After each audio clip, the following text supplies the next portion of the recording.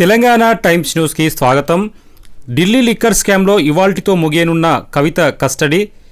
బెయిలా జైలా next ఏంటి అనేది తెలుగు రాష్ట్రాల్లో ఇప్పుడు తీవ్ర ఉత్కంఠగా మారింది.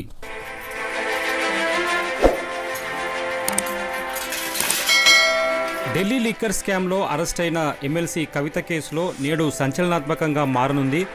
ఢిల్లీ లిక్కర్ కేసులో అరెస్ట్ అయిన ఎమ్మెల్సీ కవిత ఈడీ కస్టడీ నేటితో ముగియనుంది.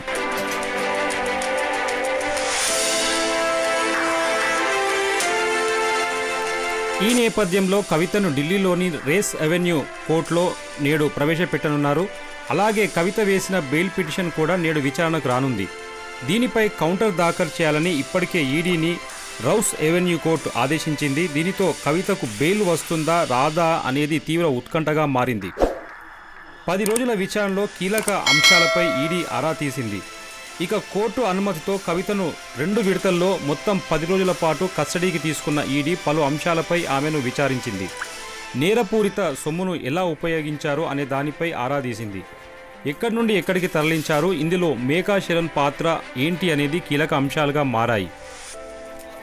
సమాధానం రాబట్టే ప్రయత్నాన్ని ఈ అంశాలపై ఈడీ అడి అధికారులు చేశారు.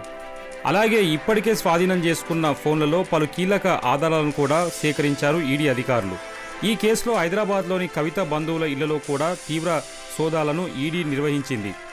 కవిత ఆడపడుచు అఖిల మేనలుడు మేకా శిరణ్ నివాసాల్లో కూడా తనిఖీలు సాగాయి. ఆడపడుచు అఖిల మేనలుడు శరణ్ ద్వారా కవిత లావాదేవీలు జరిపినట్లు ఈడీ అనుమానిస్తుంది.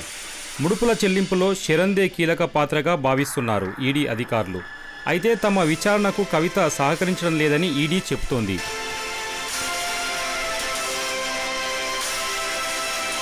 ఎమ్మెల్సీ కవిత ఈడీ కస్టడీ నేటితో ముగియనున్న సందర్భంగా ఎమ్మెల్సీ కవిత కేసులో ఈరోజు అత్యంత కీలకంగా భావించవచ్చు.